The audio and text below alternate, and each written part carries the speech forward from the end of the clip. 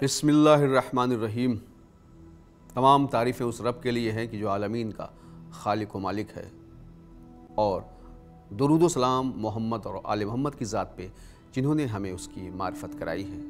हमारा रब इस कायनात को पैदा करने के बाद इस कायनात में लोगों को यूँ ही नहीं छोड़ देता है, बल्कि रब ने इंसानों की ज़रूरतों को पूरा करने के लिए, उन्हें ज़िंदगी गुजारने के लिए जिन जिन चीज़ों की ज़रूरत हुई वो उन्हें अता करता रहा, देता रहा।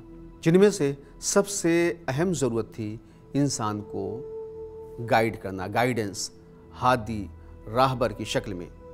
दुनिया के हर मज़हब, हर धर्म के लोग ये मानते हैं कि कुदरत ने इंसानों की हिदायत के लिए, उसे, उसकी रहनुमाई के लिए अपने पैगंबरों को, मैसेंजरों को इस दुनिया में भेजा है ताकि इंसान को वो हिदायत करता रहे, बताता रहे कि इंसान को बुराइयों से दूर रहना चाहिए। और इस दुनिया में आने का मकसद ये है कि एक दिन जब तुम इस दुनिया से जाओगे और तुम्हारा हिसाब व किताब होगा तो तुम ये नहीं कह सकते कि हमसे गलती इसलिए हुई कि हमें कोई बताने वाला नहीं था। इसीलिए कुदरत ने अपने पैगंबरों को, नबियों को, मैसेंजरों को इस दुनिया में भेज दिया और फिर एक दिन मुन कर दिया है।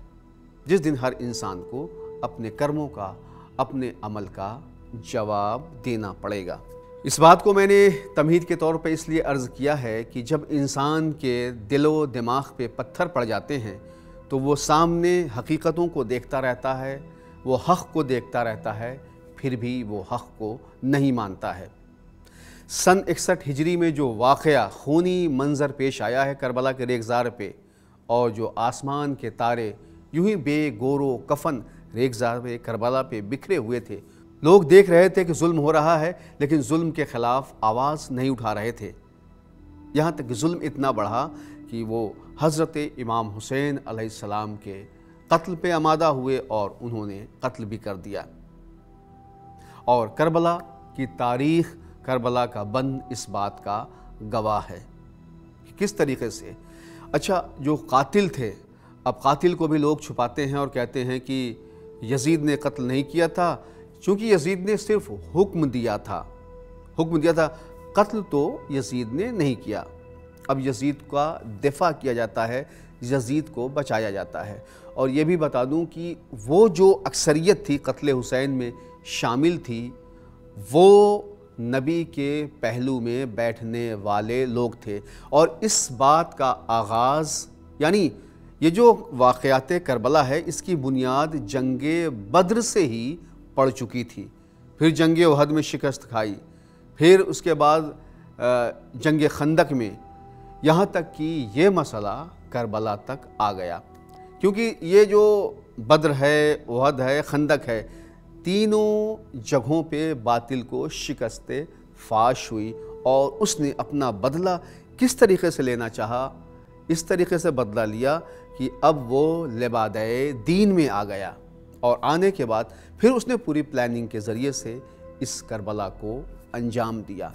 लेकिन करबला के जहाँ बहुत सारे दर्स हैं, बहुत सारी बातें करबला में हैं, वहीं करबला से एक दर्स हमें जो बहुत बड़ा है, वो ये मिलता है। इमाम हुसैन के का वो जुमला है।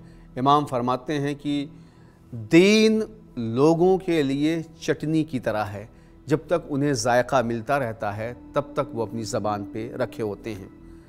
इसका मतलब क्या हुआ? मफहूम ये हुआ कि जब ज़रूरत पड़ती है तो हम दीन का इस्तेमाल करते हैं और जैसे ही ज़रूरत ख़त्म होती है, हम दीन से दूर हो जाते हैं।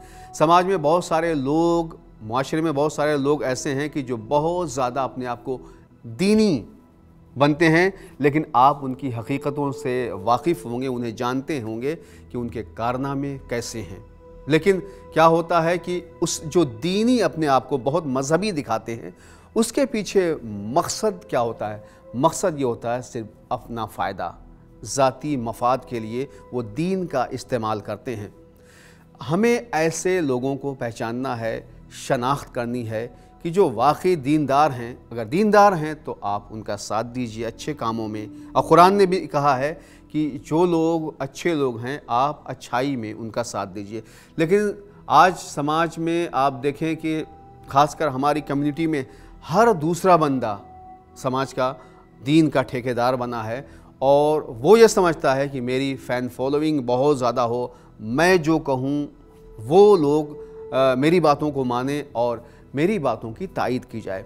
तो कभी इस बात से आप धोखा ना खाइएगा, लिबास से या किसी चीज़ से ना खाइएगा, बल्कि अगर उसको आजमाना होगा, समझना होगा तो आपको देखना होगा कि वो दीन के रास्ते पे कितना चलता है। सच्चाई, ईमानदारी के रास्ते पे वो कितना चलता है और उसके अंदर हक़ और बातिल में तमीज़ करने का कितना क़वत फ़ैसला मौजूद है।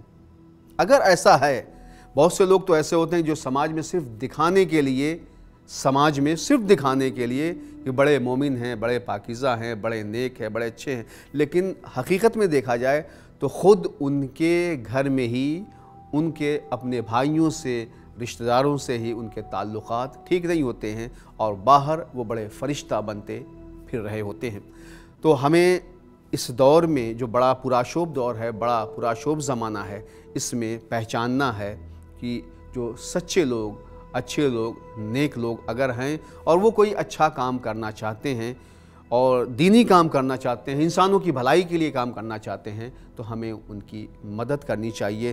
क्योंकि जब आप मदद नहीं करेंगे अच्छे लोगों की तो फिर ये जो करबला जैसा इंसिडेंट हुआ है, ये दोबारा हर ज़माने में किसी न किसी सूरत में होता रहेगा। क्योंकि इमाम हुसैन अलैहिस्सलाम ने कहा था इन नमा खरश तो लतलबिल इसलाह फ़ी उम्मत जद्दी। जब मदीने से निकल रहे थे तो कह रहे थे, ये जो समाज में बुराइयाँ फैल गई हैं, इतनी ज़्यादा बुराइयाँ फैल गई हैं, और तुम पे वाय हो, तुम तमाशाई बने हो, तुम देख रहे हो, तुम में किसी के अंदर इतनी हिम्मत नहीं है कि इन बुराइयों को रोको। यजीद ये जो कर रहा है, इसको रोको। लेकिन सब के सब खामोश थे। इमाम निकले हैं, सिर्फ़ उसी बुराई को रोकने के लिए जो यजीद फैला रहा था। अब हुसैन के दावेदार हैं, हुसैन के मानने वाले हैं तो कम से कम इतना तो करना पड़ेगा कि हमें बुराइयाँ जब फैलने लगें तो बुराइयों को रोकना पड़ेगा। वरना सिर्फ़ हम ज़बान से कहते रहें, या लय तनी कुन तो माकुम फाफूज। अय काश मौला हम करबला में होते तो आपकी मदद करते। और हुसैन इब्ने अली ने कहा था, हल मिन नासरिन जनसुरना है कोई मेरी मदद करने वाला? तो सिर्फ़ ये जो इमाम ने सदा दी थी, सिर्फ़ करबला में नहीं दी थी, बल्कि करबला के बाद आज भी हुसैन की वो सदा जारी है।